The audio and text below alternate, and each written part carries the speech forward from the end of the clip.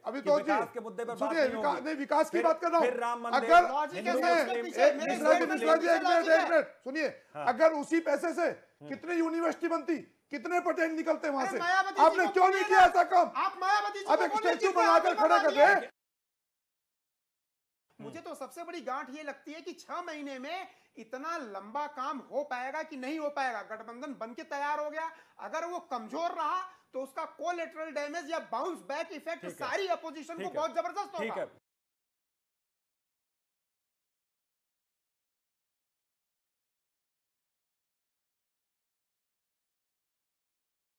मतबंधन का सबसे अभीष्ट तरीका भारतीय राजनीति चुनावों में गठबंधन है। लेकिन अगर ये महागठबंधन बन गया तो 101 परसेंट बीजेपी के लिए ये एक चुनौती होगी। इंटरनल डिफरेंसेस हैं। उस उस गैप को फिलअप करना ये गठबंधन के लिए अपने आप में एक बहुत बड़ा चैलेंज है। और क्या गारंटी है कि भविष्य में अगर कोई भी पीएम बनता है? जैसे कि आप ज़िक्र कर चंद्रबाबू नायडू कहेंगे मैं बनूँगा क्योंकि मैं सबसे ज़्यादा मुलाकात की सबसे ज़्यादा मुलाकात की। Is the only certain thing in politics तो गठबंधन की गांठ क्या और टाइट हो रही है या फिर ये ढीली पड़ जाएगी। इसी पर तमाम चर्चा हो रही है, तमाम बहस जारी है, लेकिन चंद्रबाबू नायडू राष्ट्रीय राजनीति में एक बार फिर से धमक दे रहे हैं और बीजेपी के लिए कितनी बड़ी खतरे की घंटी है। तमाम मेहमान हमारे साथ जुड़े। के मिश्रा, वरिष्ठ पत्रकार, हमारे साथ इस वक्त स्टूडियो में मौजूद हैं। तो ये तमाम लोग यहाँ पर मौजूद हैं और चर्चा यही है कि गठबंधन की गांठ कहीं बाद में ढीली तो नहीं पड़ेगी यानी आप मानते हैं ना कि सत्ता में जो रहता है वो मलाई काट ठीक है, एक मिश्रा जी एक छोटा रिएक्शन आपका चाहता मलाई हूँ काट कि के चंद्रबाबू नायडू किस तरीके से राजनीति में दखल दे रहे हैं? सैफी जी आता हूँ मैं आता हूँ भी बहुत सवाल है। मिश्रा जी किस तरीके से दखल दे रहे हैं और कितनी बड़ी चुनौती है बीजेपी के लिए है और इन पार्टियों के लिए भी जिन पार्टियों से हाथ मिला रहे हैं? इससे क्या इनकार किया जा सकता है? नहीं बिल्कुल इनकार नहीं किया जा सकता है। भारतीय राजनीति में आप देखिए जब दो पार्टियाँ एक साथ होती हैं गठबंधन बनता है उनकी आइडियोलॉजी सेम होती है और सारे प्लानिंग को इफ़ेक्टिव वे में एग्जीक्यूट किया जाता है तो रिज़ल्ट जो है बहुत चेंज हो जाते हैं। मैं तो ये बोलता हूँ मतबंधन का सबसे अभीष्ट तरीका भारतीय राजनीति चुनावों में गठबंधन है। आप बिहार इलेक्शन में देख लीजिए दो लोग मिल गए बीजेपी का पत्ता साफ़ हो गया। मैं ये बोलता हूँ अगर ये गठबंधन ज़रूरी भी है मजबूरी भी है विपक्ष के लिए गठबंधन पहले से भी था गठबंधन अब भी है बीजेपी प्लस थी अपोजिशन कांग्रेस प्लस थी। कोई नई चीज़ नहीं है। सवाल ये है आइडियोलॉजिकल अभी तो ये कॉन्सेप्ट सवाल यहाँ पर ये उठ रहा है सवाल यहाँ पर ये उठ रहा है कि पहल कौन कर रहा है? शुरुआत कौन कर रहा है? बात सब लोग कर रहे हैं। पहला कदम कौन? पहला कदम अब यहाँ पे आपने दिखाया मुलायम सिंह हाँ। यादव और अखिलेश यादव जी जा रहे हैं। तो इसके पीछे रीजन ये हो सकता है कि उनकी छटपटाहट कुछ ज़्यादा हो। दूसरी चीज़ मैं ये बोलूँगा अगर स्ट्रांग वे में ये गठबंधन महागठबंधन बन गया हालाँकि मुझे ऐसा लगता नहीं है बड़े पेच है इसमें और टाइम भी कम है। छह महीने में गठबंधन बनाना कॉन्सेप्ट को डेवलप करना इंप्लीमेंट करना और एक एक बूथ पे जाके उसको मजबूती देना आइडिया और पब्लिक को कन्विंस करना ये बहुत टिपिकल काम है टाइम कम है। लेकिन अगर ये महागठबंधन बन गया तो 101 परसेंट बीजेपी के लिए ये एक चुनौती होगी। कर्नाटक इलेक्शन में भी ये हुआ बिहार में भी हुआ पास्ट में भी आप देख सकते हो। तो अगर गठबंधन अच्छा बन गया और रिलेटिव वे में इन्होंने मैं नो डाउट बीजेपी का जो गठबंधन है बीजेपी प्लस है वो ज़्यादा स्ट्रांग है।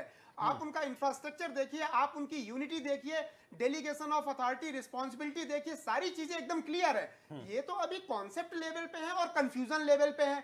कि होगा कि नहीं होगा कौन पीएम बनेगा कौन सीएम का वो एरिया कौन देखेगा हमारे मुद्दे क्या होंगे? इनके मुद्दे तो केवल एक है कि बीजेपी को हराना है। अरे कोई सॉलिड मुद्दा दीजिए ना आप हमेशा यही बोल रहे हो बीजेपी को हराना है।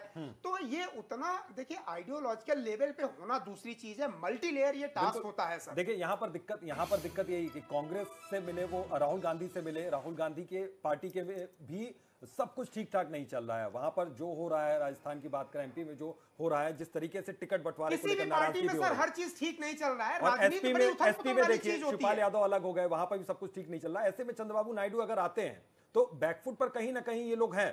संदीप द्विवेदी जी आप बिल्कुल भी इसको चुनौती नहीं मान रहे लेकिन यहाँ पर एक चुनौती के तौर पर इसको देखा जा सकता है क्योंकि अभी भी इन्होंने ज़िक्र किया कि जिस तरीके से गठबंधन हुआ और उसके बाद उसका खामियाजा पास्ट बीजेपी को है सर आप बिहार देखिए ना कर्नाटका देखिए पोस्ट एंड प्री अलायंस जो होते हैं उसका इम्पैक्ट देखिए ना देखिए एक मैं बहुत आपने बिहार का एग्जांपल देखा लेकिन यूपी का भी एग्जांपल आप देखिए। मैं वो भी बोलता? हूँ मैं तो वो भी बोलूँगा। नहीं नहीं मैंने इसीलिए बोला मुख्यमंत्री उप मुख्यमंत्री हैं। अगर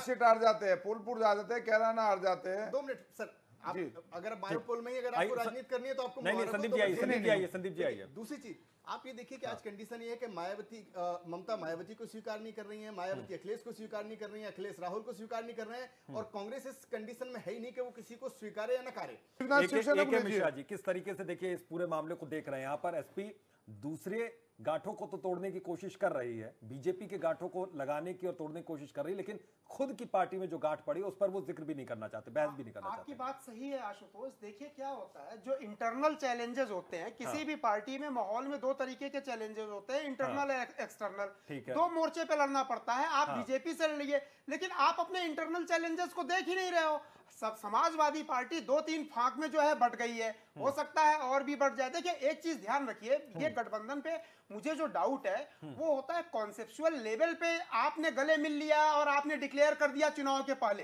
हम्म। आपकी सेना कितनी ट्रेंड है लड़ने के लिए ये हम्म। सारी चीज़ों में बीजेपी प्लस जो पार्टियाँ हैं वो बहुत आगे हैं वो एक्सपीरियंस्ड हैं एकदम सारी चीज़ें उनकी रेडी है और सभी पार्टियों के यहाँ पर अपना अपना स्वार्थ जनता के नाम पर लड़ रहे हैं और अति हैं। अति महत्वाकांक्षा हाँ, जो इंटरनल डिफरेंसेस हाँ। उस उस गैप को फिलअप करना ये गठबंधन के लिए अपने आप में एक बहुत बड़ा चैलेंज है। अभी हम्म। राहुल गांधी जी पीएम बनने चलेंगे तो फिर ममता बनर्जी बोलेंगे हम बनेंगे कोई और नेता शरद पवार बोलेंगे हम बनेंगे। हम्म। सॉरी तो ये चीज़ें जो इंटरनल इनके बीच गैप है उस चीज़ को दूर करना इनके लिए सबसे बड़ा चैलेंज है। बिल्कुल। और क्या गारंटी है कि भविष्य में अगर कोई भी पीएम बनता है? जैसे कि आप ज़िक्र कर चंद्रबाबू नायडू कहेंगे मैं बनूँगा क्योंकि मैं सबसे ज़्यादा मुलाकात की सबसे ज़्यादा मुलाकात is the only certain thing in politics हो सकता है चंद्रबाबू नायडू ममता बनर्जी और मायावती ममता बनर्जी और मायावती खुद के दावे पहले से हाँ, ठोक तो रहे हैं तो क्या तो- गारंटी है तो सभी लोग एक साथ challenges हैं जो ये लोग नहीं कर रहे हैं तो हाँ। मुझे ये लगता है गठबंधन बना लेना डिक्लेयर कर देना यूपी में भी तो यही हुआ यही इसीलिए मैंने बोला था। इफ़ेक्टिव एग्जीक्यूशन क्या उतनी मजबूती ये छह सात महीने में दे पाएँगे। उतनी मैच्योरिटी ये ले आ पाएँगे अपने गठबंधन में जिस हिसाब से बीजेपी प्लस है बिल्कुल छह सात महीने में सभी पार्टियों से मुलाकात हो जाना वो मैच्योरिटी नहीं आ पाएगी मुझे जो डाउट है वो उतनी हाँ। मैच्योरिटी नहीं आ पाएगी गठबंधन तो बन गया गठबंधन तो यूपी चुनाव में भी बना था हम्म। दो सबसे बड़ी पार्टियाँ थी धुआंधार प्रचार हुआ और सब लोग बोल रहे थे हम जीतेंगे। रिज़ल्ट क्या हुआ? 250 से 45 सीट पे सपा आ गई और कांग्रेस का तो क्या हुआ सब जानते हैं। हम्म। केवल गठबंधन बना लेना डिक्लेयर कर देना पेपर पे ये डिफरेंट चीज़ होती है। हम्म। ग्राउंड लेवल पे बैटल को जाके जीतना लड़ना वो डिफरेंट चीज़ होती है। तो ठीक रिलेटेड कॉन्सेप्ट और बल देखिए तो मुझे लगता है बीजेपी अभी बहुत मेच्योर है संजय गुप्ता जी संजय गुप्ता जी ये माना जा सकता है कि आपके सामने विकल्पों की बहुत ज़्यादा कमी है बहुत सीमित विकल्प हैं। यही वजह है कि चंद्रबाबू नायडू आते हैं तो आप हाथ मिलाते हैं उनसे। देखिए जनाब हमारे खून के अंदर राजनीति और देश की हमने सेवा की है और कांग्रेस को किसी नई पार्टी से और ये जिस तरह की बातें कर रहे हैं मिश्रा जी मेरा उससे इतफाक नहीं रखता। ये हमें समझाना चाहते हैं कि राजनीति कैसे करनी है कैसे ब्लॉक पर जाके फिर मिसयूज संजय करना सर, है मैं क्यों नहीं नहीं मैं एक मिनट नहीं, एक मिनट सर आप अभी कह रहे थे राज किया है, आप कह रहे थे बहुत आगे दूसरा गठबंधन मैं जवाब दे रहा हूँ। संजय गुप्ता हमने सात साल इस देश के अंदर सेवा की है हाँ।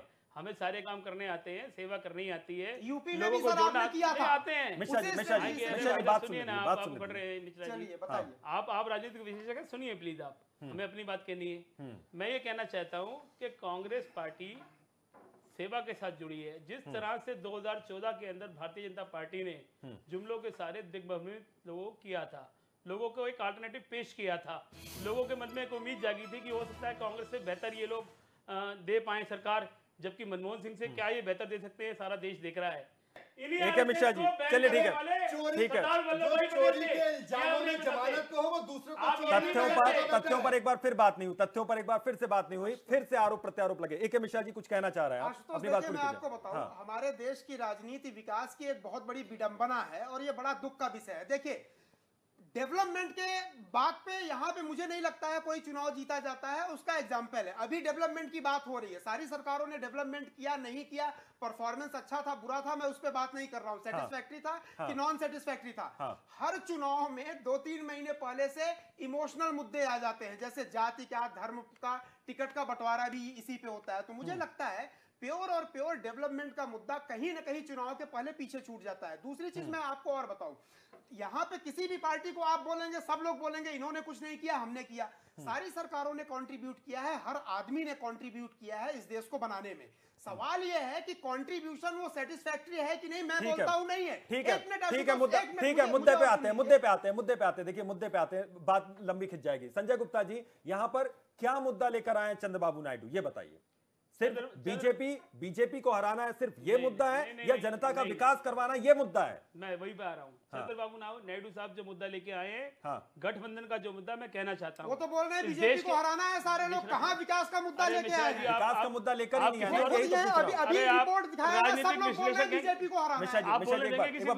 नहीं संजय हराना है। मेरी बात भी आप कह दीजिए। बिल्कुल सुनिए दो मिनट हाँ।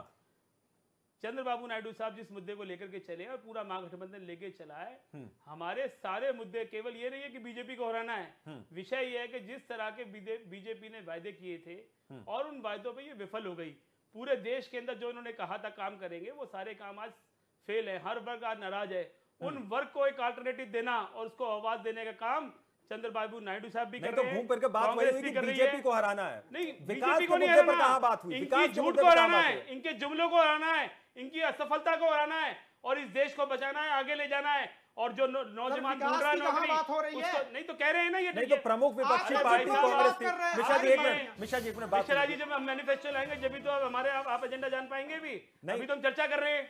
शाहबुद्दीन सैफी लेकिन इस बात से इतफाक रखेंगे यहाँ पर कि अखिलेश यादव पहले ही कह चुके हैं कि गठबंधन किसी भी शर्त पे बने बस बीजेपी को हराना है। अखिलेश यादव कई मौकों पर कहे ये चीज़ आप मानते हैं? देखिए बीजेपी कुछ शर्तें आपकी का काम जनता करेगी। हम्म। हमारी पार्टी का काम नहीं है। कि बीजेपी तो फिर गठबंधन क्या ज़रूरत सर? गठबंधन ज़रूरत है। हाँ। जो लोग इनसे विपरीत अच्छा, हो अगर जनता खुद ही काम कर रही है खुद ही हराने काम कर गठबंधन क्या बात सुनिए हाँ।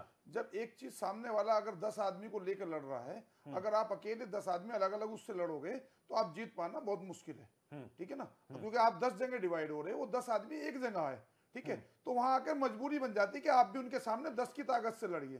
ठीक है वहाँ ज़रूरत पड़ रही है गठबंधन की और वो जनता हराएगी। अगर हम दस जगह होकर डिवाइड लड़ते हैं तो फिर इनको फ़ायदा होगा नुकसान जनता को होगा। हम हाँ। जनता के फ़ायदे के लिए गठबंधन कर रहे हैं अपने फ़ायदे के लिए नहीं। अगर हमको अपना फ़ायदा करना होता तो हम हाँ। अस्सी अस्सी की सीट पर लड़ते। हमको अस्सी पे नहीं लड़ना। हाँ। हमको जनता का हित देखना कि हमको ऐसी भ्रष्ट सरकार को हटाना है जो उनके साथ वादे करके उनको धोखा देकर यहाँ पर आइए। उनके साथ जुमले देकर उनको आज देखा करके। देखिये राम मंदिर के मुद्दे पे ये लोग आए थे। आज भूल गए। स्टेचू बना रहे वहाँ जाके। उस पैसे आप लोग भूलने नहीं दे हम कहा भूलने दे रहे? देखिये राम मंदिर का मुद्दा देखिए कहाँ कहाँ से फिर से उठा चुनाव आया इसलिए याद आया ना। साढ़े चार साल तो कोई याद नहीं आया। अभी तो साढ़े चार साल तो कोई याद नहीं आया ना। अभी स्टेचू वहाँ जाके बना कर दिया। क्या उस पैसे देखिए अभी तो जी। नहीं विकास की बात कर रहा हूँ। अगर मिश्रा जी मिश्रा जी एक मिनट सुनिए। अगर उसी पैसे से कितनी यूनिवर्सिटी बनती? कितने पटेल निकलते वहाँ से? आपने क्यों नहीं किया ऐसा काम? आप मायावती अब एक स्टेचू बनाकर खड़ा कर रहे आप पटेल जी के नाम पे यूनिवर्सिटी बनाते हज़ारों पटेल तो जी का कि जिन लोगों ने मूर्तियाँ बनाने मुझ पर निशाना साधा वो माफ़ी मांगे। देखिए मूर्तियों पर आज चर्चा हम नहीं कर रहे इतना पैसे का देखिए देखिए हम्म। किसी का पैसा नहीं है वो जनता का पैसा है जनता की गाड़ी तो आज से पहले देश में क्या Pratima ji man and India की बात करते हो और ठेका देते हो चाइना को। क्या हिंदुस्तान में कारीगर नहीं है? यहाँ कलाकारी नहीं है? तो उसकी तो कई वजह बताई गई। उसकी वजह नहीं है क्या? देखिए आज इस मुद्दे पर इस टॉपिक पर चर्चा नहीं हो रही पर चर्चा कर तो चुके हैं। सैफिक जी सैफिक जी इस पर चर्चा कर चुके हैं। चर्चा कर चुके हैं एक सवाल संजय जी संजय जी सवाल का जवाब नहीं दे रहे। सवाल का जवाब नहीं दे रहे। आप यानी कि एक कदम पीछे हटाने को तैयार है। शाहबुद्दीन जी। गठबंधन पे बात करिए ना। गठबंधन कमज़ोर है कुछ कर पाएगा कि नहीं कर पाएगा। अच्छा जी एक मिनट। जहाँ बैठो 55 साल का कांग्रेस का विकास है आप कांग्रेस का पक्ष रख रहे हैं मैं दोनों पार्टी का पक्ष रहा हूँ हम गठबंधन में गठबंधन हो जा रहे अच्छा अखिलेश की बात नहीं। कर रहा हूँ। कांग्रेस को क्यों लेकर यूज़ करते हैं। में उसको। जी सियासी पार्टी है तो लड़ेगा ना। ठीक है मिश्रा जी। मिश्रा जी इसमें इस गठबंधन में गांठ आपको कहाँ नज़र आ रही है? कितनी कमज़ोर कितनी ताकतवर? ताकत की भी बात कीजिएगा कि गठबंधन कितना ताकतवर ये तैयार हो रहा है यहाँ पर शर्तों की भी बात छोड़ दीजिए। नहीं देखिए गठबंधन ये तो अभी इन लिम्बो है इन प्रोसेस में है हाँ। और वेट एंड वॉच का है।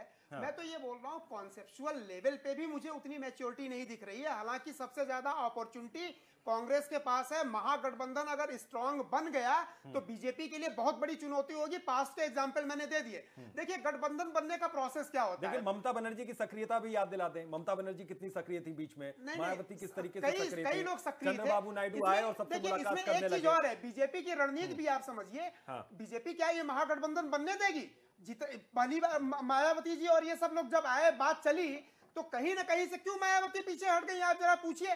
बीजेपी भी इन लोगों को तोड़ेगी। तो इनके सामने एक चैलेंज ये है कि बीजेपी के अटैक को मैनेज करना कि वो गठबंधन बनने दे। दूसरा चीज़ इंटरनल देखे अभी तो ये कॉन्सेप्चुअल लेवल पे है लोग मिल रहे हैं। सिद्धांत कौन बनाएगा प्रिंसिपल कौन बनाएगा? काम इतने होते हैं सर एक स्ट्रांग महागठबंधन को प्रेजेंट करना इलेक्शन के पहले पब्लिक के सामने मुझे तो सबसे बड़ी गांठ ये लगती है कि छह महीने में इतना लंबा काम हो पाएगा कि नहीं हो पाएगा? गठबंधन बन के तैयार हो गया। अगर वो कमज़ोर रहा तो उसका कोलेटरल डैमेज या बाउंस बैक इफ़ेक्ट सारी अपोजिशन को बहुत ज़बरदस्त ठीक है।